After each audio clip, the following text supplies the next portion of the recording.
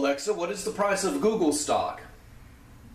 When the market closed, Alphabet traded at 135 US dollars and 26 cents on the Nasdaq, up 0.6% since previous close.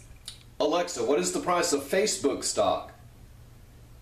When the market closed, Meta Platforms traded at 298 US dollars and 67 cents on the Nasdaq, down 0.2% since previous close. Alexa, what is the price of Amazon stock? When the market closed, Amazon.com traded at 137 US dollars and 85 cents on the Nasdaq, up 1.8% since previous close.